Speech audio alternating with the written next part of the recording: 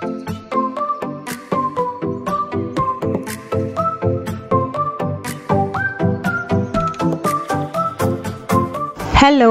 എല്ലാവർക്കും നമ്മുടെ പുതിയ വീഡിയോയിലേക്ക് സ്വാഗതം. ഇന്ന് മുള്ളങ്കി കൊണ്ട് രണ്ട് റെസിപ്പി ഉണ്ടാക്കുന്നുണ്ട്. ദോശ ഉണ്ടാക്കുന്നുണ്ട്. മുള്ളങ്കി കൊണ്ട് തന്നെ ചട്നി ഉണ്ടാക്കുന്നുണ്ട്. വളരെ ടേസ്റ്റി ആയിട്ടുള്ളൊരു ചട്നിയും ദോശയാണത്. മുള്ളങ്കി അധികം ആർക്കും ഇഷ്ടമല്ലല്ലേ പക്ഷേ ഇതേപോലെ ഒന്ന് ഉണ്ടാക്കി നോക്കൂ. എല്ലാവർക്കും ഇഷ്ടമാവും അതിന് ആവശ്യമുള്ള മുള്ളങ്കി എടുത്തിട്ടുണ്ട്. ഒരു മൂന്നെണ്ണം ചെറിയ വലുപ്പത്തിലുള്ളതൊന്നും എടുത്തിരിക്കുകയാണ്. ഇനി നമുക്കതൊന്ന് ക്ലീൻ ചെയ്തിട്ടൊന്ന് ഗ്രേറ്റ് ചെയ്യാനുള്ളതാണ്. ഞാൻ ആവശ്യമുള്ള ഒരു തക്കാളി എടുത്തിട്ടുണ്ട്. കുറച്ച് വറ്റൽമുളകും കുറച്ച് കാശ്മീരി മുളകും എടുത്തിട്ടുണ്ട്. അതുപോലെ ഒരു ടീസ്പൂൺ ജീരകം എടുത്തിരിക്കുന്നത്. കുറച്ച് വെളുത്തുള്ളി രണ്ട് കഷ്ണം ഇഞ്ചി എടുത്തിട്ടുണ്ട്. നമുക്ക് മുള്ളങ്കി ഒന്ന് തൊലിയൊക്കെ കളഞ്ഞ് ഗ്രേറ്റ് ചെയ്തെടുക്കാം.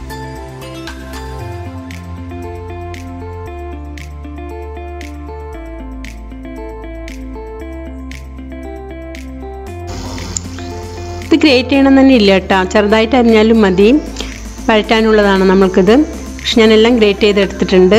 ഇനി നമുക്ക് പാൻ അടുപ്പിൽ വയ്ക്കാം അതിനാവശ്യമുള്ള ഓയിൽ ഒഴിക്കേണ്ട ഒരു ടേബിൾ സ്പൂൺ വെളിച്ചെണ്ണ ഞാൻ എടുത്തിരിക്കുന്നത്. ഏത് ഓയിലാണേലും കുഴപ്പമില്ല. ഒരു പത്ത് പന്ത്രണ്ട് വെളുത്തുള്ളി എടുത്തിരിക്കുന്നത്. ചെറുതാണെങ്കിലും ഒരു പത്ത് പതിനഞ്ചെണ്ണം എടുത്തോളൂ കേട്ടോ വെളുത്തുള്ളി ചേർക്കുമ്പോൾ അതൊരു ടേസ്റ്റ് തന്നെയാണ്. ഗ്യാസ് ട്രബിളിനും നല്ലതാണ് വെളുത്തുള്ളി. ഒരു ഏഴെട്ട് വറ്റൽമുളക് കൂടി ചേർത്തിട്ടുണ്ട്. നന്നായിട്ടൊന്ന് വഴറ്റിയെടുക്കാം. ഒരു അഞ്ചാറ് കാശ്മീരി മുളകും കൂടി ചേർക്കുന്നുണ്ട്. ഒരു കളറിനാണത്. എരിവ് കുറവാണതിൽ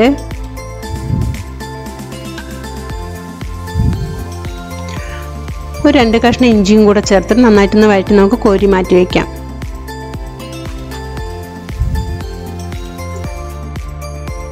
ഒന്ന് തണുത്ത് വരട്ടെ. അപ്പോഴേക്കും നമുക്ക് ഗ്രേറ്റ് ചെയ്ത മുള്ളങ്കി ഒന്ന് വഴറ്റിയെടുക്കാം. അതേ പാനിൽ തന്നെ ഞാൻ ഓയിൽ ഒഴിക്കുന്നുണ്ട്. ഒരു ടേബിൾ സ്പൂൺ ഓയിൽ ഒഴിച്ചിട്ടുണ്ട്.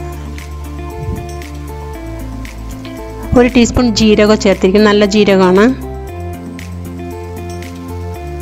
ഗ്രേറ്റ് ചെയ്ത് വെച്ച മുള്ളങ്കി കൂടെ ചേർക്കാം.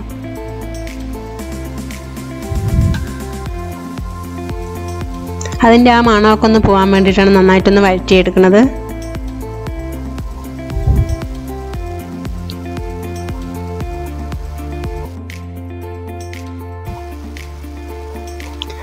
ഒരു തക്കാളി എടുത്തിട്ടുണ്ട്. ചെറുതായി അരിഞ്ഞതാണ്. അതും കൂടെ ചേർത്ത് നന്നായിട്ടൊന്ന് വഴറ്റിയെടുക്കാം.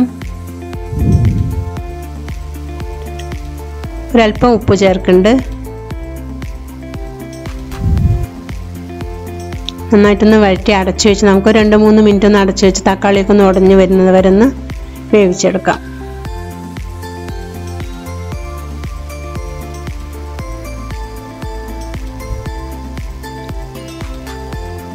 തക്കാളിയൊക്കെ ഒന്ന് നന്നായിട്ടൊന്ന് വെന്ത് വന്നിട്ടുണ്ട്.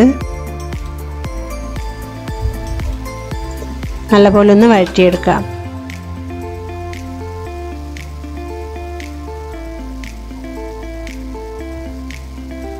അതിന്റെ ആ ഒരു മണമൊക്കെ ഒന്ന് മാറാൻ വേണ്ടിയിട്ടാണ് കേട്ടോ അത്രയും നന്നായിട്ടൊന്ന് വഴറ്റിയെടുക്കുന്നത്. അന്ന് തണുത്ത് വരട്ടെ. അപ്പോഴേക്കും നമുക്ക് നേരത്തെ മുളകൊക്കെ വഴറ്റി വെച്ചിട്ടുണ്ടായിരുന്നല്ലോ അത് തണുത്ത് വന്നിട്ടുണ്ട്. അപ്പോഴേക്കും നമുക്കിതൊന്ന് അരച്ചെടുക്കാം. ഒന്ന് ഗ്രേറ്റ് ചെയ്തെടുക്കാം. അതിന് ശേഷം നമുക്ക് മുള്ളങ്കിയും കൂടെ ചേർത്തിട്ടൊന്ന് അരച്ചെടുക്കാം. ചെറുതായിട്ടൊന്ന് ഗ്രേറ്റ് ചെയ്തിട്ടുണ്ട്. ഇനി ഇതിലേക്ക് നമുക്ക് മുള്ളങ്കിയും കൂടെ ചേർക്കാം. ചൂടാറിയതിന് ശേഷം മാത്രം മിക്സിയിൽ ചേർത്താൽ മതി. ഒരു നാരങ്ങയുടെ പകുതി എടുത്ത് പിഴിഞ്ഞൊഴിക്കുന്നുണ്ട് അതിലേക്ക്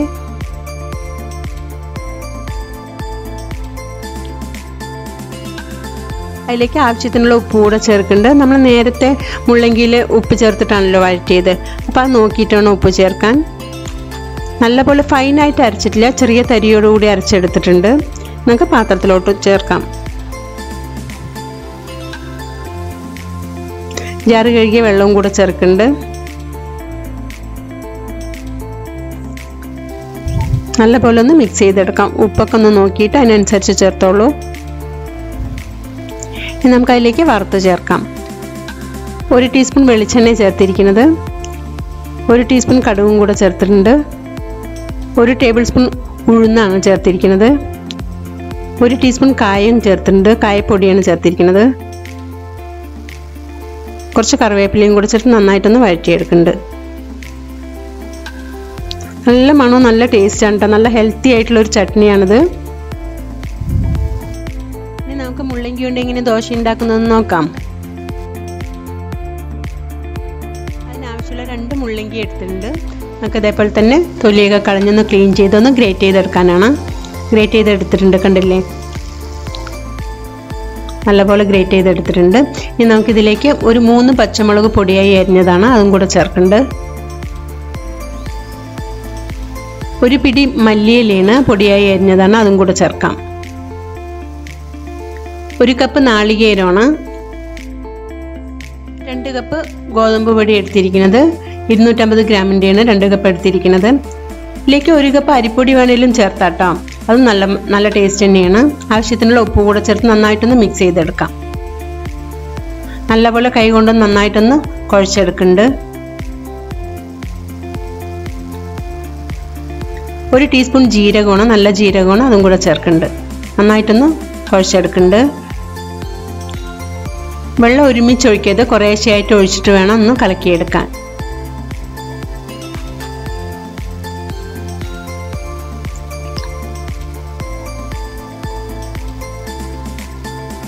നല്ലപോലെ ഒന്ന് മിക്സ് ചെയ്തെടുക്കാം. ഒരുപാട് കട്ടിയാവരുത് ഒരുപാട് ലൂസും ആവരുത്.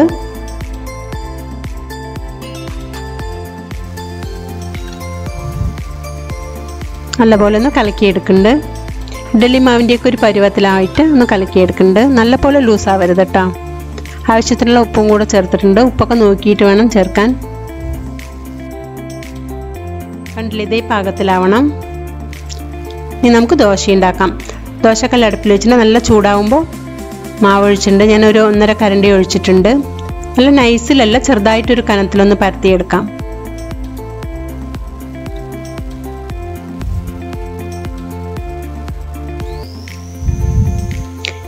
മീതെ കുറച്ച് ഓയിൽ കൂടെ തൂകുണ്ട്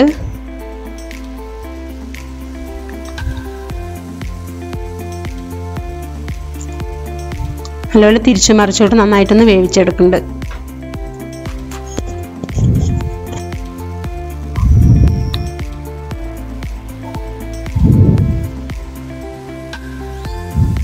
രണ്ട് സൈഡും നന്നായിട്ടൊന്ന് വേവിച്ചെടുക്കാം. തിരിച്ച് മറിച്ചിട്ടിട്ട് നല്ല ടേസ്റ്റ് ആട്ടോ. എല്ലാവരും ഒന്ന് ട്രൈ ചെയ്ത് നോക്കൂ. നല്ല ഹെൽത്തി ആയിട്ടുള്ളൊരു ദോശയാണ്. അതേപോലെ തന്നെ ചട്നിയും നല്ല ടേസ്റ്റാണ് എല്ലാ ദോശ അതേപോലെ തന്നെ ഉണ്ടാക്കിയെടുക്കാം.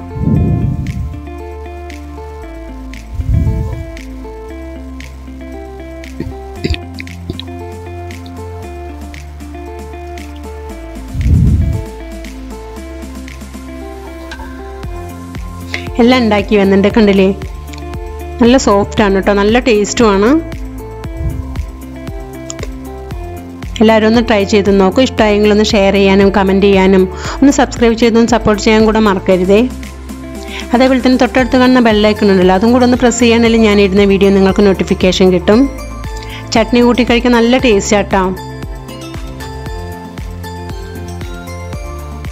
നല്ല ഹെൽത്തി ആയിട്ടുള്ള ദോശയും ചട്നിയും എല്ലാവരും ഒന്ന് ട്രൈ ചെയ്ത് നോക്കിയിട്ട് ഇഷ്ടമെങ്കിൽ ഒന്ന് കമന്റ് ചെയ്യാനും ഷെയർ ചെയ്യാനും മറക്കരുത്.